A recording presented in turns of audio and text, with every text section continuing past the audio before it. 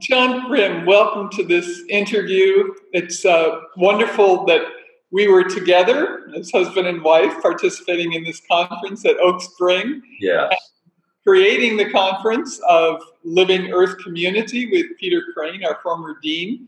And your specialty being Indigenous traditions, especially Native American traditions, we wanted you to start off with talking about cosmovisions, living within a universe, lifeways. Can you just fill that out a little bit for us? What, what does that mean, cosmovision? Thank you. Thank you, Mary Evelyn. It's good to be with you and good to be in this interview series. The, the term lifeway is the term that I'm quite partial to in studies of indigenous peoples because it's it's often a stand-in substitute for me for the term religion. I find religion carries so much baggage. People have preconceived ideas, uh, doctrines, uh, institutions, even architecture when they think of religion. Whereas Lifeway is trying to raise the question of the, the values and practices associated with religion being woven into the whole of a people's life.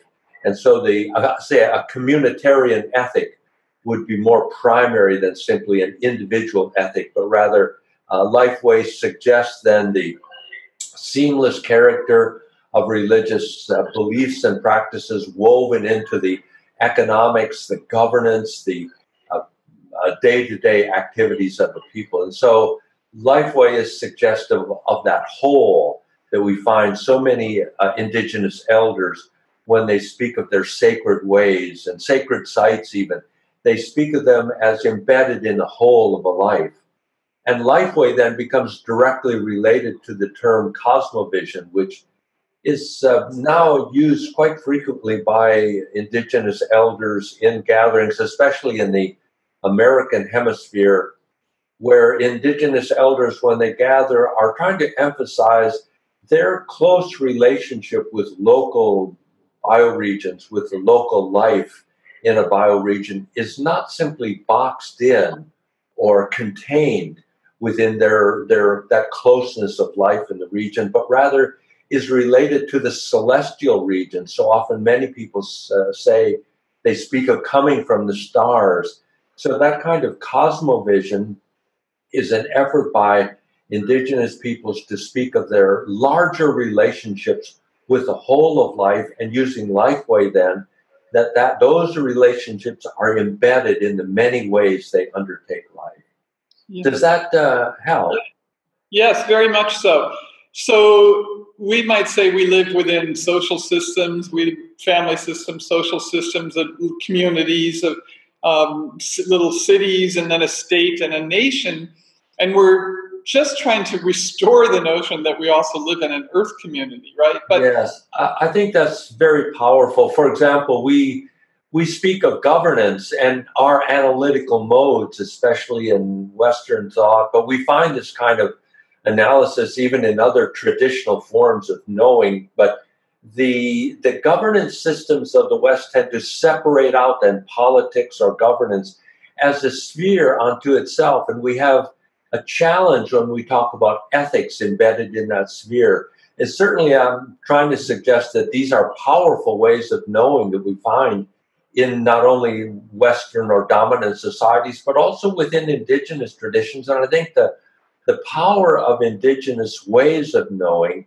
is that wholeness with, within which they're considering activities such as governance. So, this sense of uh, ethical behavior is situated within a larger cosmological frame to it, in the sense of how people who are uh, governing or leaders within a tradition, how do they relate to the local bioregion? That's a, question, for example, that we wouldn't necessarily bring to our political leaders until lately, when I think we've also begun to realize that the sense of whole is important in our governance systems too. Right, right. Um, well, we could go in a lot of, of directions there of um, understanding ourselves as part of a biodemocracy and that the yes. Isn't that interesting? Yes. Yeah. Do you want to just say something about the Haudenosaunee people and, and their. there's this wonderful text which was done decades ago called A Basic Call to Consciousness. And in that text out of the uh, the uh, collection that was called at that time the Akwesasne Notes, uh, that publication talks about the uh, ideas that the Haudenosaunee share with so many indigenous people. One of them now has become very well known again wherever indigenous elders meet and speak in larger polit- uh, public context.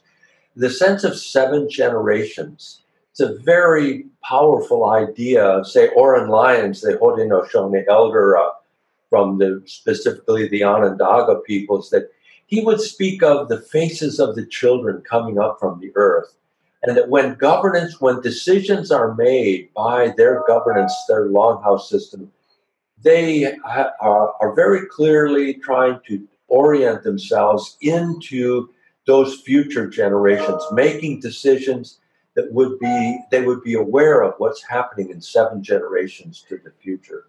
So that uh, sense of the Haudenosaunee governance also extends to the development of a uh, Haudenosaunee environmental task force. So a contemporary expression of this uh, biodemocracy that the Haudenosaunee are very clear that they have been committed to in their people's history. That sense, namely, of how they have interacted related to the local bioregion. And that extends then to their agricultural system, especially the three sisters of corn, beans, and squash, how they're grown, how the people cultivate that, how they sing up the crops, to use that expression. So, biodemocracy has uh, a number of very beautiful expressions among many native peoples. Yeah, well, let's pick up a few of these the sense of um, agricultural ritualizing the three sisters. Love you to say something about that. And um, other rituals that, that relate to how is a cosmovision lived. Might be the uh, offering of a child to the cosmos, that ritual as well. But give us a, few examples of this embedded. Yes, yes that's, a, that's a very, very wonderful question, leading question. The, uh, the Omaha in the ethnology collected in the early uh, 20th century, uh, the Omaha are well known for a ceremonial when they introduce a newborn child to the cosmos.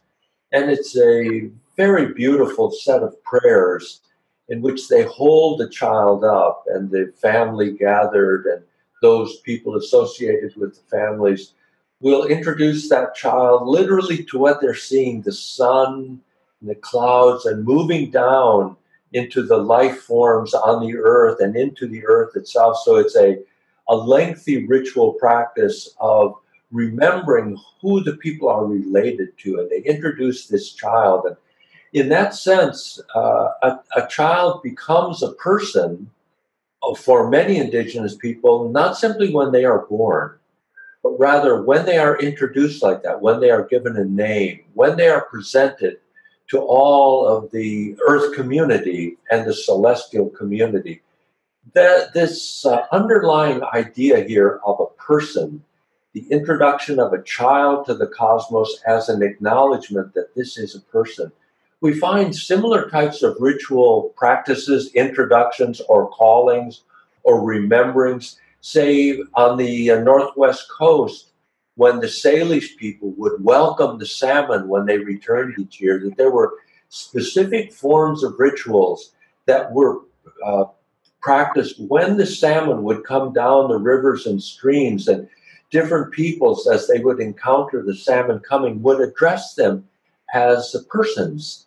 And that the salmon are giving of themselves so that they have personhood they have the capacity of agency to give of themselves, and they have even a moral imperative in their arrival, in the sense of the migration of the salmon is an ethical statement that they care for the people, they care for the animals because they are feeding the people, they are feeding other animals. So we find in many traditions these uh, incredibly beautiful and rich ceremonials, which again I think is in the larger concept of biodemocracy, of rituals that acknowledge the reciprocal relationship, this, um, this wholeness of receiving from the world and of the human giving back in a responsible way the respect and reverence for the personhood of life around them. So the living character of reality is uh, is emphasized in these rituals. It's practiced in these rituals, acknowledged and lived through these rituals. Wonderful. Uh, thank you. And maybe we could just take that question of ritual to the healing nature of rituals. And perhaps um, I'd love to invite you to talk a little bit about the Sundance and how that bioregion is present in the dance itself. But how, well, how does this affect the community for healing, for restoration, uh, for renewal? Yes, it's such a beautiful question because uh, healing, some people would say, is at the heart of religion. And early on, then, our effort to talk about life way as a term to not eliminate the word religion, but to give it a fuller uh, sense of meaning within the indigenous context. And healing, then, as part of the life way, is embedded in that whole relationship. So, in the Sundance ceremonial, and of course, that word Sundance is an English term that uh, we use to describe many different ceremonies on the northern and central plains. And the Sundance has now been carried by elders from those traditions even into other continents. And this particular practice, especially on the northern plains, occurs in the uh, early spring through the spring and into the early summer also. And individuals who have had a dream or a call to sponsor a Sundance will go to a Sundance, Sundance leader and that they will initiate the process, which can be a year or even two years in gathering the clan and the community resources in order to hold such a ceremonial. And the, the very quick take on these uh, Sundance ceremonials is that they are a renewal. Healing is, in that sense, a renewal of the bioregion, of the life in the region, of the sites, of the people, of all of this earth community. The dancers, men and women who vow to go into the lodge, and of course, there are different styles of sun dancing on the northern plains where there's a piercing sacrifice or a giving of one's own body to undertake suffering in order to assist this renewal also fasting sun dances, which I'm more familiar with among the Shoshone peoples and Crow or Apsáalooke peoples. And these types of ceremonials then undertaken by men and women who go into the lodge to dance barefoot for three, four, five days and to go without food and water, hence the fasting character of the sun dance.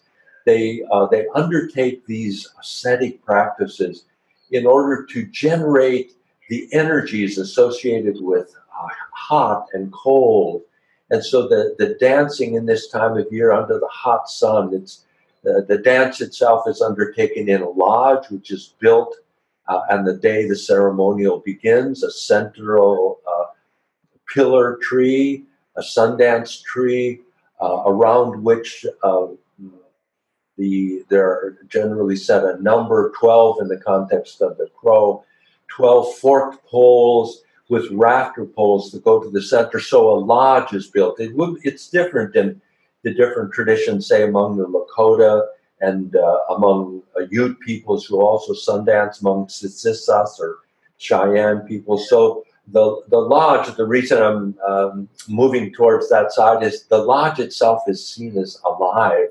And so every structure in that lodge has a name. All of the the central tree and the, the rafters going to the central tree and the 12 outer fork trees on which these rafters sit, and then the shade trees that go on the outside and to give the dancers some shade. That this lodge that the dancers go into is called in the Crow way uh, Ashkise. It's the big lodge. It's the cosmic lodge. So the sense of cosmovision is working itself out in the Sundance also one enters into the wholeness of life in these ceremonials and undertakes this fast so as to renew through one's own activity. But it's a concert of people, so it's definitely community oriented. And the, the dynamics of governance in the ceremonial are also very interesting. There will be healers in the back of the lodge with the sponsor, and then the dancers radiating out to the front where the eastern door, the door always faces to the rising sun. And so the drummers who will sing the songs that the dancers will dance to the central tree and back again. That the drummers are a central part of the governance underlying the ceremonial also. At the door, elders will stand and elders will call out, and especially those elders who have the privilege of announcing. So, this is a lineage which is transmitted among all of the Northern Plains people, and not, in fact, many indigenous peoples have such a role of those who can talk to the people and tell them what the leadership has decided. And these announcers stand at the door. They're also part of the governance of this particular Sundance ritual. So the healers, the Sundance chief in the back, the dancers, the announcers, the, the uh, drummers, and the women who sing behind the male drummers, and the public outside of the lodge. There's a weave going on of all of these participants in the governance. And this weave then is seen as reaching into the local bioregion. And so there's the sense of, of the people participating by renewing and the, the earth community also giving to the people of itself uh, during the Sundance uh, ceremonial itself. So these exquisite three, four, five day ceremonials on the Northern Plains and, as I said, elsewhere also are a deep healing for the, the earth community in which the human is situated. Yes, thank you. That's uh, an extraordinary description of an amazing ceremony that's still being kept alive. Uh, we have seen many times the Crow Sundance, and the effort um, to do this is immense, as you say, just under the, the heat of the summer day and, and so on. But the persistence, the sacrifice, and the sense of renewal of their communities as well as the earth community as a whole is, is astonishing. So let, let's use that as a segue to talk about um, maybe this would be a concluding uh, piece, but how is it that these traditions, these Native American tribes um, and communities, they've kept alive against great odds their traditions, their ceremonies, their language um, against colonization uh, and, and so on, and the forced taking away of, of language, culture, and religion and land. Um, so, what are the challenges right now um, that these communities are facing? I, would love you maybe to begin with Standing Rock um, and give us a feeling for what happened at Standing Rock and why is that so important? Yes, yes. Thank you for this question because it's it is imperative when talking about anything related to Native peoples in, in around the planet that we need to acknowledge the history of the encounter, and that in itself is a lengthy discussion topic, but it it prompts me to say that uh, my remarks are have always been to engender a sense of respect for the traditions and to understand the difference of peoples, indigenous peoples around the planet, and to understand their contemporary voice and to hear that voice. And so your mention of Standing Rock is so important as a concluding comment because we see there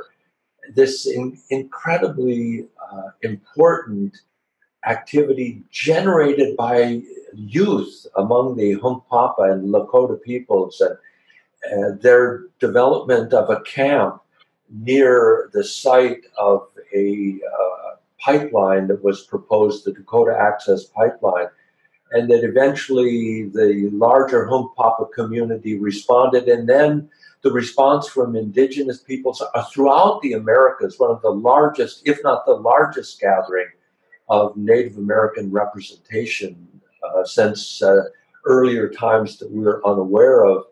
Uh, this uh, uh, attention at Standing Rock then to an environmental concern is a, is a signal that is given to the environmental movement, broadly speaking, of a way to engage in environmental action that is reaching into the, the Hunkpapa tradition, and in that sense, the indigenous tradition, because we see something similar happening now throughout the American hemisphere and also through, around the planet, where indigenous people are drawing on their tradition and understanding that what life has given to them, they have committed themselves as a people to standing up, to protect what has been given to them by the earth community. And so at Standing Rock, we saw these signs water is medicine and water protectors. And the central concern, the central message that was undertaken in that activity was not simply resistance to a pipeline, but rather an awareness that the pipeline potentially endangered the community of water. It, it endangered what water gave to the community. So, from the youth on up, there was this realization that they had to stand up to protect the water, they had to give their voice. Again, we spoke of the seven generations earlier, this consideration of decision making that will have effect into seven generations. So it's Standing Rock, the sense that they were trying to protect water for those who are coming after us. And this we're finding now among so much environmental action among indigenous people, the Wet'suwet'en people in British Columbia, standing up to a pipeline bringing tar sands oil to the west coast of Canada for shipping abroad. That the Wet'suwet'en people have had to take on their own government in this regard, and that they are drawing on traditional understanding of protecting the sacredness of their land, the trees, the forests, the water from pipelines that would rupture. We have no clear assurance that these pipelines can stand up for the time, the temporal considerations that these people are talking about. So, uh, this environmental activity, the environmental focus of Indigenous people is a tremendous turn now. It's a, a pivoting moment at which the the environmental community and the dominant culture is beginning to see new ways of understanding this uh, the animate character of the earth that we need to understand and stand up for that which uh, we re- interrelate with which we depend upon and which gives us life. So i think we will see much more of this in the environmental community a sense of the biodemocracy to use that term the sense of the living character of the earth community that we stand in solidarity with rather than simply resisting technological projects. We want to ask the question how, will these projects affect life into the future? Thank you. That's a great conclusion um, to this discussion. And maybe I'll just mention to conclude that um, in the gathering of 30,000 people in Cochabamba in Bolivia several yes. years ago to draft the Universal Declaration of the Rights of Mother Nature. Um, that is also an example of this articulation of the living earth community. Wonderful, yes. And the co- term cosmovision being exactly. used in that context. Exactly. And that document reaching all the way to the floor of the UN because the General Assembly president happened to be from Venezuela and brought that to the UN, the Universal Declaration of the Rights of Mother Earth, and it was voted upon and approved. So there's many challenges, um, but some extraordinary, um, courageous examples of, of resistance uh, to environmental destruction and yes. a new articulation of Mother And in that sense, also the burgeoning sense of earth rights, of wild law. I think it's connected very much to the example you've given also of water, the sense of the rights of water. But here we need not so much a, a legal language, but a new type of a spiritual or a, a lifeway language, uh, seeing the, the inherent uh, personhood, the inherent sovereignty of the waterways and of the soilways. Right. Well, thank you. We could continue for a long time on this, but um, that was very uh, wonderful, and thank you, thank John. You. Thanks.